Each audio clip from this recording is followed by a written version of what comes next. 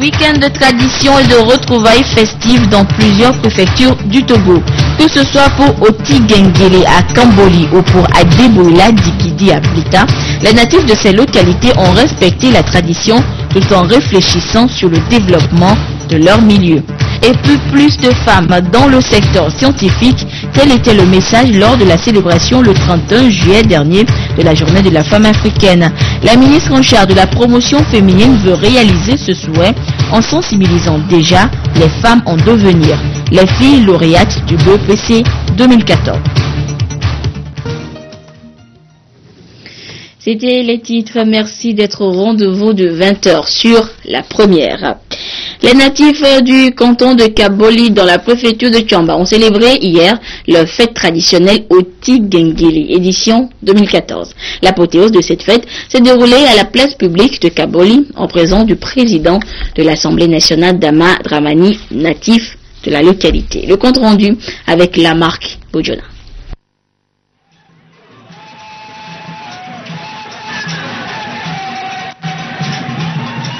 Ce rassemblement des natifs du canton de Kamboli dans la préfecture de Tchamba marque l'apothéose de la fête traditionnelle Oti Gengele. C'est un moment de retrouvailles des filles et fils de Kamboli pour se ressourcer. Pour cette édition 2014, plusieurs personnalités ont marqué de leur présence à cette fête, notamment le président de l'Assemblée nationale, Damad Ramani, fils de Kamboli, pour célébrer Oti Gengele. Cette fête euh, vient de l'histoire. le lieu Gengele, c'est le lieu où notre premier ancêtre a créé le village, c'est-à-dire a pris euh, comme occupation créer le village. Et cette fête est fêtée depuis la nuit des temps. C'est notre identité, c'est le symbole de notre unité, c'est le cadre qui nous réunit, c'est le cadre qui nous permet de faire des concertations, de réfléchir sur le développement de notre euh, milieu qui est Kaboli. Au-delà de la fête, les natifs de Kamboli ont tenu à témoigner leur gratitude au chef de l'État pour les différentes nominations des filles et fils de la préfecture de Tchamba à de hautes charges. Nos vieux, ils ont toujours prié. Nous, nous souhaitons à ce que Dieu fasse, à ce que les ancêtres fassent de telle façon que le fils de Kaboli soit sorti disons, de grands personnages au niveau de ce pays-là. Leur prière a été exaucée. Donc, voilà pourquoi cette année, nous l'avons fait avec faste, pour montrer à la face du monde, pour montrer au président de la République que nous l'avons toujours soutenu, nous l'avons fait hier, nous le faisons aujourd'hui, mais nous lui disons également que d'être tranquille, nous sommes toujours derrière comme une bosse. La manifestation a été arrosée par une pluie synonyme de bénédiction. Les différents intervenants ont exprimé leur gratitude à Dieu pour la protection dont la localité de Kamboli a bénéficié. La fête traditionnelle Oti Gengele est célébrée chaque deux ans. Rendez-vous donc dans deux ans. La préfecture de Blita était aussi en fête hier. Les ressortissants de cette préfecture ont, eux, célébré Adebola Digidi ou la fête des Ignam. La fête s'est tenue dans le canton de Tcharebaou en présence des natifs et des autorités politiques au devant desquels la ministre de la Communication, de la Culture, des Arts et de l'information civique. Nous retrouvons la marque Bojona.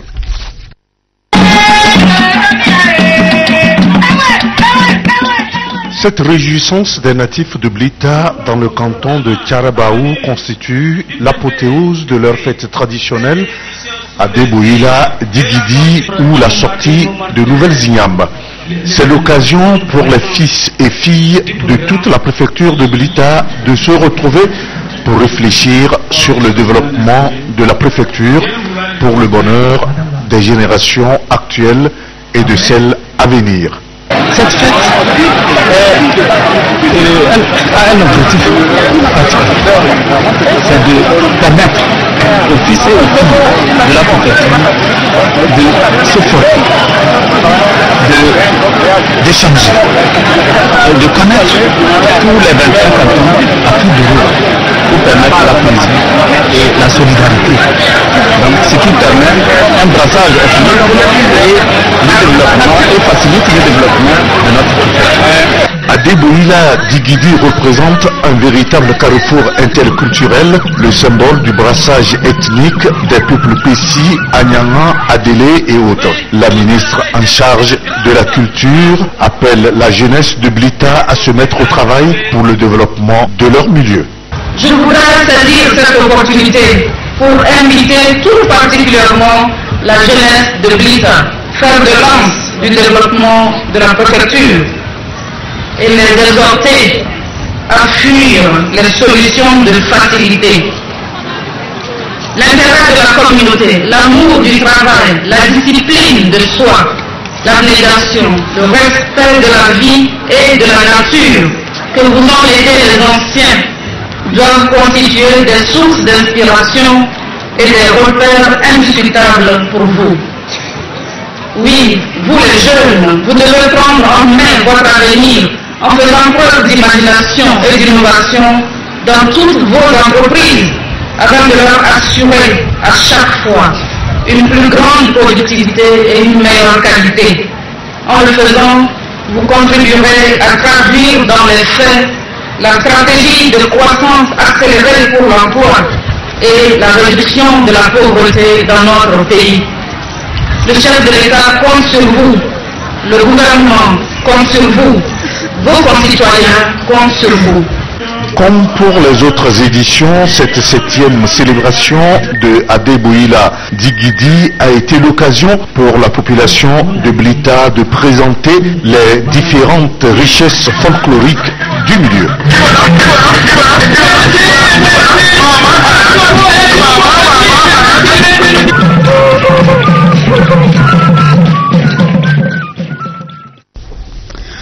Autre actualité, une démarche prospective qui s'appuiera sur des analyses rétrospectives et les espérances de tous les Togolais pour élaborer un programme solide pour un Togo émergent à l'horizon 2030. Tel est l'objectif de la tournée nationale entreprise par le ministre auprès de la présidence de la République chargée de la prospective. Une tournée qu'il a conduit cette semaine, en début de semaine donc, à Thiviers. Christine Petit-Kialodé.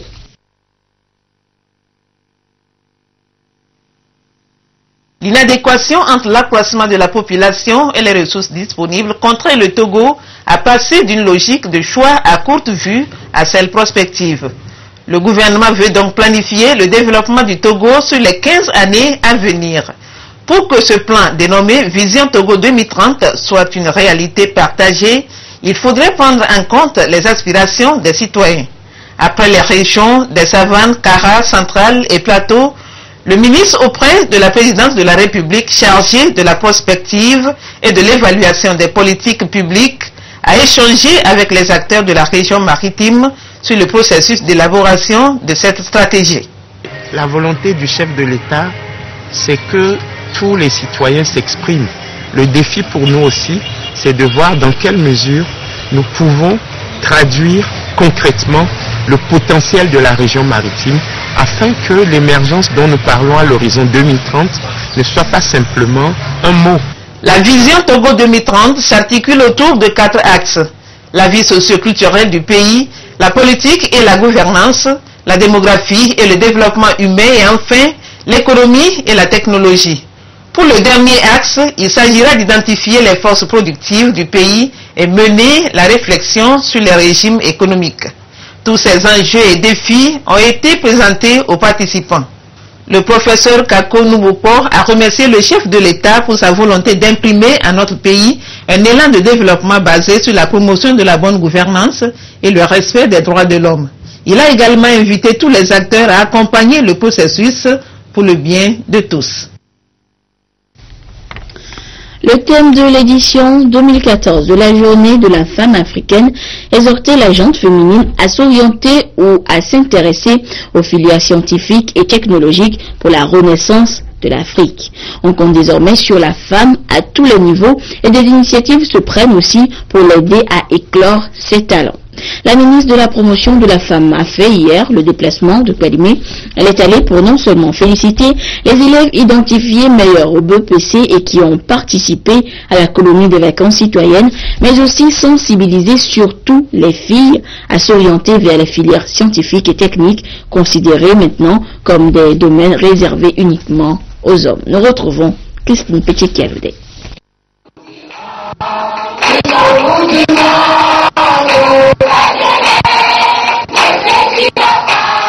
Des jeunes filles et garçons.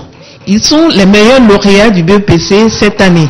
Ils participent depuis le 8 août aux vacances utiles et citoyennes à Palimé, organisées à leur profit par le gouvernement pour les encourager à exceller davantage.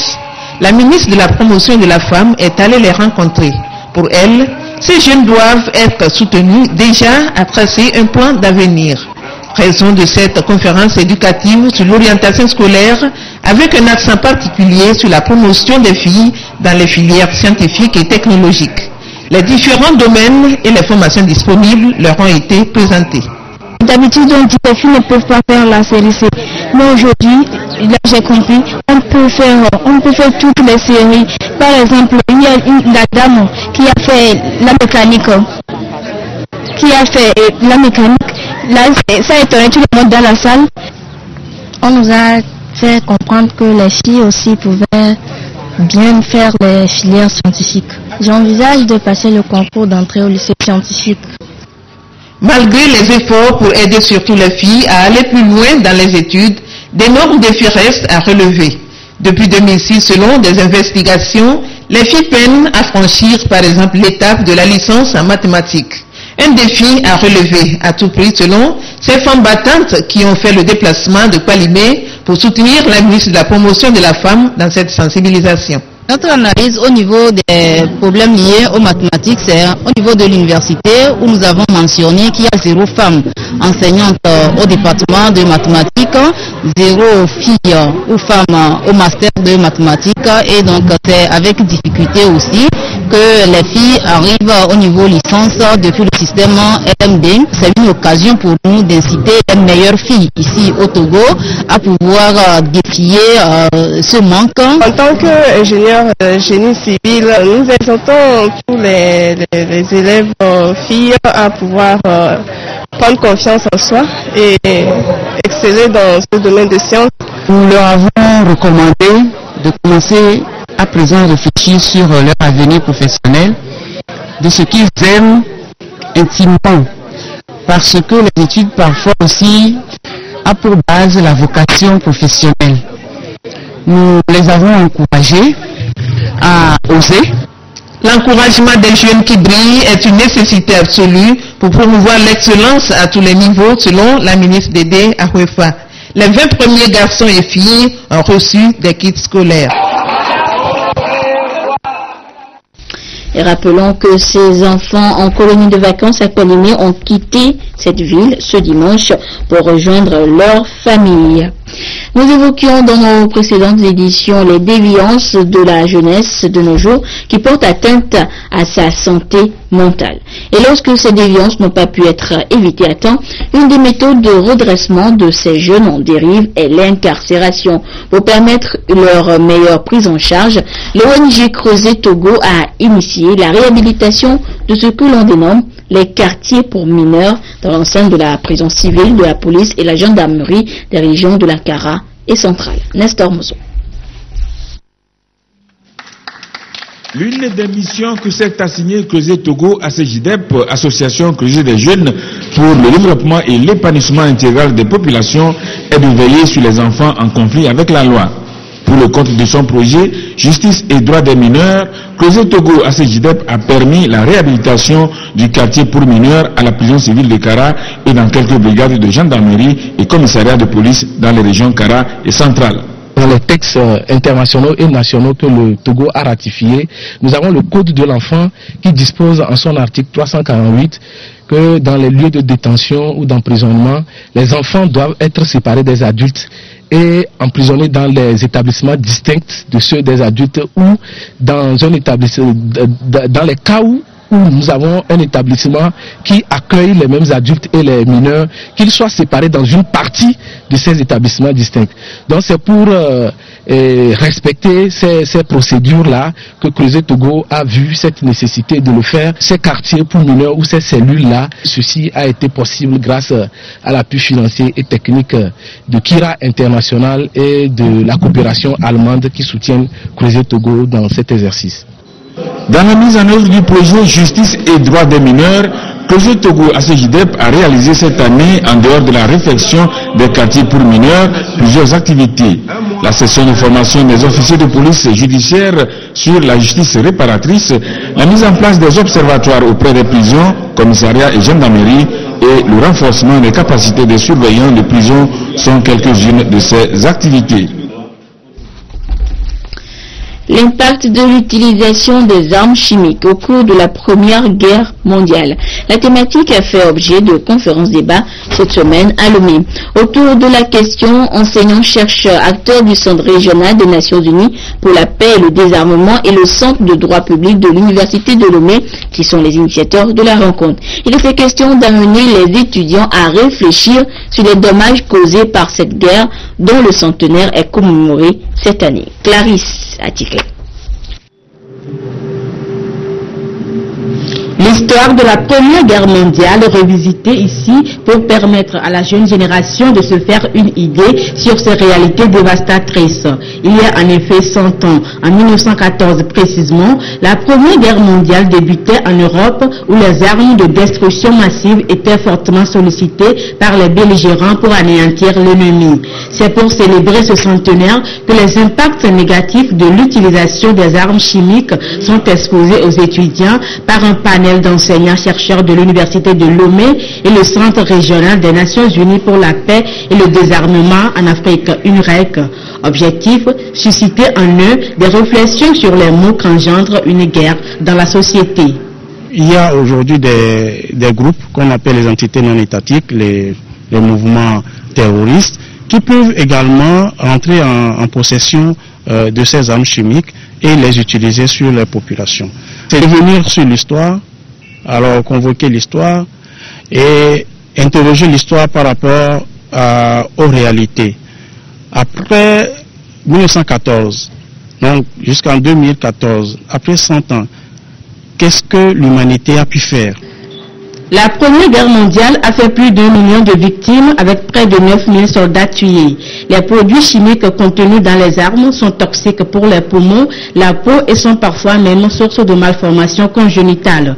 La biodiversité en a souffert et en souffre encore aujourd'hui. Il est donc impérieux d'inciter les pays à ratifier les conventions sur le stock des armes chimiques et commencer par sensibiliser et éduquer les jeunes à la non-violence. Actualité politique ce dimanche, l'Alliance nationale pour le changement, ANC, est toujours dans la région des plateaux. Conduite par son président national Jean-Pierre Fabre, la délégation poursuit sa tournée nationale de sensibilisation des populations. Yves Agbevivi. Il a été accueilli par les populations de Kwele Akata, des présents de vivre en mer. Jean-Pierre Fabre est arrivé dans cette localité, dernière étape de la dernière phase de sa tournée dans les plateaux, une tournée commencée depuis le 8 août 2014 et qui a parcouru 25 localités des préfectures de Lakebou, Wawa, Agou et Kwele. Comme à Pélé Akata, c'est avec chant et danse que la délégation de l'Alliance nationale pour le changement ANC, conduite par son président national Jean-Pierre Fabre, a été accueillie à Tapamé, point de départ de cette tournée. Le président national de l'ANC l'a dit à maintes reprises, il est, il est temps, il est temps que euh, le changement intervienne. Et ce changement doit intervenir sur tous les plans, tant sur le plan social que politique qu'économique. Et je crois que c'est le message, ce message avait été donné dans la région des savanes, dans la région de la Cara, dans la région centrale. C'est le même message qui est donné dans les plateaux. Et nous terminons cette première partie de cette tournée nationale aujourd'hui. Nous allons reprendre une nouvelle tournée nationale. Dès ce mois-ci, je une ou deux semaines, nous allons recommencer cette tournée parce que nous avons pour ambition de rendre visite à environ 300 cantons villages d'ici euh, le 30 décembre 2014. Cette tournée que les responsables de l'ANC viennent de boucler constitue la dernière partie d'une tournée nationale qui a commencé depuis le septentrion le 15 février 2014. Partout où la délégation a posé les pieds, les représentants locaux de l'ANC ont été présentés aux populations. Du Togo, le virus Ebola poursuit sa progression en Afrique de l'Ouest et les mesures pour le stopper se multiplient. En Guinée, après l'état d'urgence sanitaire décrété mercredi dernier, le gouvernement met en place les dispositions consécutives. Regardez. La Guinée met en place des mesures extraordinaires. Hier, les autorités ont détaillé leur plan d'action après que le pays a décrété l'état d'urgence sanitaire mercredi. Ebola a déjà fait au moins 380 morts. Dès demain, le contrôle aux frontières sera renforcé. On a mis au niveau de tous les postes frontaliers, qui sont nombre de 41, un cordon sanitaire et qui euh, euh, sera fonctionnel à partir euh, du lundi. Et en ces lieux, il va y avoir les services de santé et les agents de sécurité et de défense pour assurer le, fonctionnement au niveau de ces cordons sanitaires. Environ 80 militaires et civils ont été formés pour faire office d'agents de santé au point d'entrée en Guinée. Géographiquement, le pays est collé à Libéria et à la Sierra Leone. La Guinée est donc tributaire de ses voisins. Selon Médecins sans frontières, il y a une explosion des cas d'Ebola à la frontière avec le Libéria. On ne pourra jamais empêcher les gens, notamment les Guinéens, de rentrer dans leur pays pour chercher des soins, mais aussi euh, euh, les autres nationalités de passer d'un côté à l'autre de la frontière. Tant qu'on ne contrôle pas l'épidémie, tant qu'on n'a pas les mesures de contrôle dans les trois pays au même niveau, au même moment, la Guinée sera toujours dépendante de la situation euh, en Sierra Leone et au Libéria. D'après Médecins sans frontières, cette épidémie d'Ebola sera beaucoup plus longue à juguler que les précédentes. Cela pourrait prendre encore plusieurs mois. Retour en page nationale et direction le pays des Bata Mariba, connu grâce au célèbre Tata Tamberma et qui lui a valu son inscription sur la liste du patrimoine mondial de l'UNESCO. Mais le hic, c'est que depuis plusieurs années, depuis quelques années donc, le Takienta, habitat traditionnel du site Kutamaku, est en péril. Adolphe Paca. L'homme à la flûte et sa gazelle, tout un symbole encore de nos jours à l'entrée du Kutamaku. Deux ou trois siècles plus tôt, ce milieu culturel n'avait qu'une architecture typiquement takieta, l'habitat traditionnel remarquable à un ou deux étages semblables à de petites tours. Doté de trois chambres, trois greniers et du sanitaire à l'étage, ce sont des édifices qui renferment au rez-de-chaussée tout le nécessaire pour le quotidien des Batam Mariba. Un espace pour le bétail, une cuisine, une porcherie et à la devanture, un espace cérémoniel. Reconnu ainsi par l'esthétique de son architecture atypique, le takieta, soit au toit plat, soit au toit de chaume conique, est à la fois technique, utilitaire et symbolique. Unique en son genre, il est le résultat du génie créateur des Batam Mariba, ce qui façonne la terre où les bons maçons, traduit littéralement selon les anthropologues. Mais aujourd'hui, Kutamagu ne garde plus de son authenticité que de vieilles tata. Ce paysage évolutif, vivant et représentatif des traits de son peuple n'a plus évolué. De nouvelles tatas se construisent très rarement.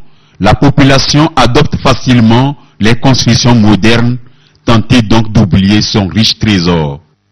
Si nos parents sont arrivés seulement avec ces choses, construire des trucs à étage, que l'eau n'arrive pas à pénétrer, mais pourquoi nous... Et nous- la dalle, allons- là, ça peut faire 5 ans avant qu'on échange. hein. Voilà. Et La pourquoi nous, nous allons dans le ciment, dans quoi, quoi, de ferraille qui nous tue C'est l'histoire des Batam Mariba qui s'écrit toujours, mais à ne pas ignorer qu'à chaque peuple de défendre son identité. Les tatas, c'est à la population d'arranger. On vient qu'on a déjà payé au niveau du site, donc on ne paie rien. Il n'y a pas de retombées. Il vient, il, il monte sur le tata avec, parfois avec les filles qui viennent avec les hauts talons. Ça, ça tout nos, nos maisons, et on doit les réparer. Bon, rien ne tombe et on dit que c'est à l'État. La maison, c'est une propriété privée. Comme on le voit actuellement, le vrai est mélangé du faux. Donc cela entame vraiment l'authenticité même de ce, de ce site. C'est un problème réel de, sur le terrain. Et pourtant, les bons maçons sont toujours là. Il est très difficile de trouver de nos jours et donc ces, ces bois-là qui permettent de construire la, la tata. Il faut aller soit au bord de la rivière Kéra, soit sur les, les montagnes. Cependant, vu la valeur de ce site et le message qu'il véhicule, aucune raison ne pourrait justifier son péril. Il faut dès maintenant des actions urgentes. La production d'inéré est facile. Seulement, il faut prendre certaines dispositions préliminaires au moment de l'installation de sa pépinière. Et nos expériences ont démontré que l'unéré planté, l'unéré reboisé peut commencer sa production dans les 7 ans à venir. Le site est ainsi menacé par la dégradation avancée des essences forestières qui constituent l'armature de la construction du Takieta. Et si l'on n'agit pas dès aujourd'hui, c'est le modernisme qui prendra le dessus aux grandes dames du patrimoine. Une meilleure nouvelle. À présent, on les aime quand elles viennent d'ailleurs, comme Tintin, les histoires de Walt Disney. Eh bien, depuis quelques années, nous avons des bandes dessinées made in Togo, comme Le Petit Filou, une œuvre de l'association Ago Media. Coup de projecteur ce soir sur cette association avec Esther Laclé. Sheba Yomemu est une passionnée de la lecture. Longtemps, elle a savouré les bandes dessinées occidentales avant de tomber sous le charme des bandes dessinées d'Ago. À l'origine, j'étais un peu sceptique. Mais quand j'ai découvert tout ce que Ago, les, les membres d'Ago faisaient, j'ai été agréablement surprise. Après plusieurs années d'absence, les bandes dessinées d'aventure se sont installées dans le paysage littéraire du Togo. Et depuis 2008, les lecteurs togolais ont leur BD avec de super héros noirs comme Ditri, Akongo, Amimo et autres. Les auteurs ou scénaristes s'inspirent des mythes et légendes ou tout simplement de l'actualité. C'est difficile à dire d'où vient l'inspiration. Euh, je pense que les idées viennent, on ne sait pas comment elles viennent. Donc l'inspiration, c'est quelque chose que l'homme ne maîtrise pas.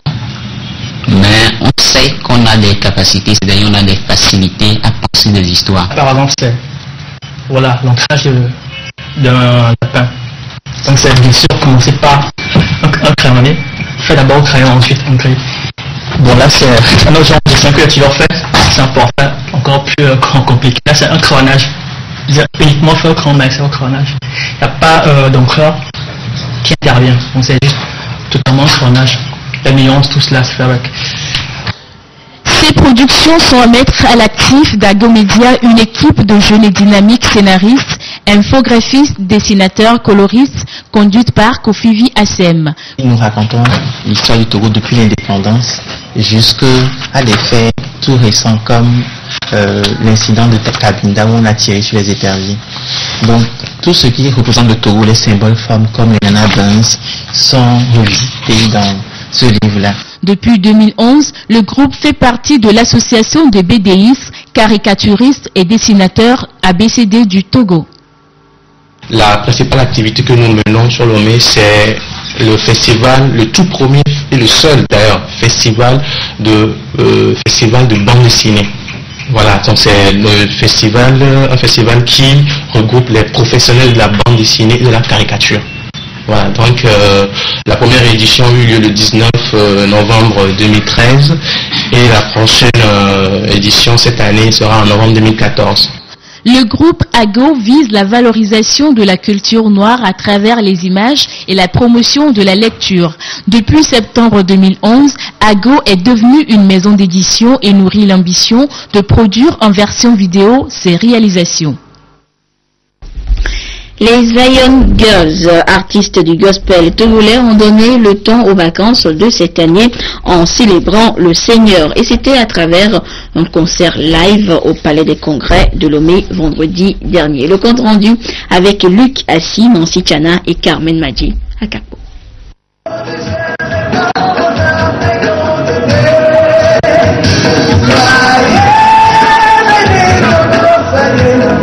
La marche républicaine, ici interprétée sur un rythme particulier par les Zion Girls.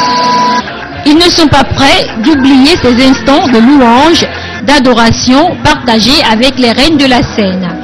Ces amoureux du gospel togolais ont passé de merveilleux moments de recueillement, d'émotion et de détente à, travers les prestations des Zion Girls.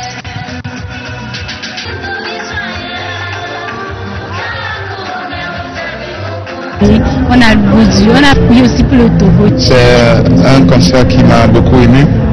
Je me suis bien défoulé, j'ai bien dansé. Et ce qui m'a plus marqué dans ce concert, c'est que la présence de Dieu était vraiment effective. Placé sous le thème Tu peux y arriver, ce grand concert live va non seulement faire la promotion des deux albums des Zion Girls, mais aussi lancer sur le marché leur nouveau clip vidéo. Elle chante la paix, l'amour et les merveilles de Dieu. Avec lui tout est possible, il est le docteur des cas impossibles. Merci pour tous ceux qui ont effectué ce pas pour venir au palais de Congrès pour nous soutenir. Que le Seigneur les bénisse. Plusieurs artistes du gospel togolais ont pris part à ce rendez-vous. Un rendez-vous de référence et plein de couleurs.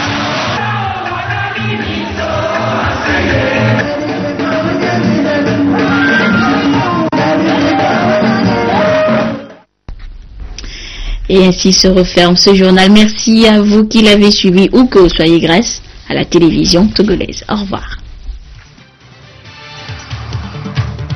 Week-end de tradition et de retrouvailles festives dans plusieurs préfectures du Togo. Que ce soit pour Oti Gengele à Kamboli ou pour Adeboula Dikidi à Plita, les natifs de ces localités ont respecté la tradition tout en réfléchissant sur le développement de leur milieu. Et plus de femmes dans le secteur scientifique, tel était le message lors de la célébration le 31 juillet dernier de la journée de la femme africaine. La ministre en charge de la promotion féminine veut réaliser ce souhait en sensibilisant déjà les femmes en devenir, les filles lauréates du BPC 2014.